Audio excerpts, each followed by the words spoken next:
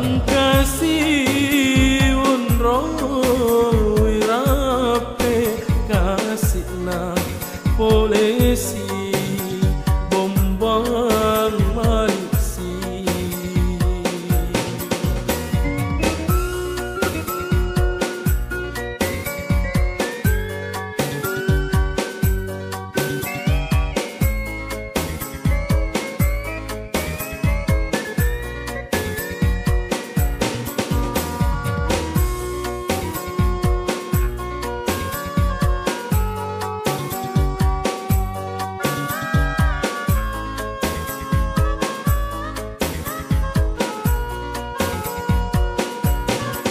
Opet di ajak umroh kasih nang Iwak